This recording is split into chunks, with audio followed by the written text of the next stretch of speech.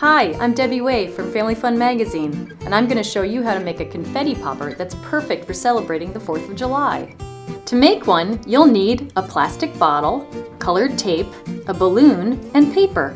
First, cut the top from the bottle and discard the rest. Cover the edge with colored tape. Stretch the balloon over the mouth of the bottle, then work it down to shorten the balloon. Cut your paper into tiny pieces, then fill the popper.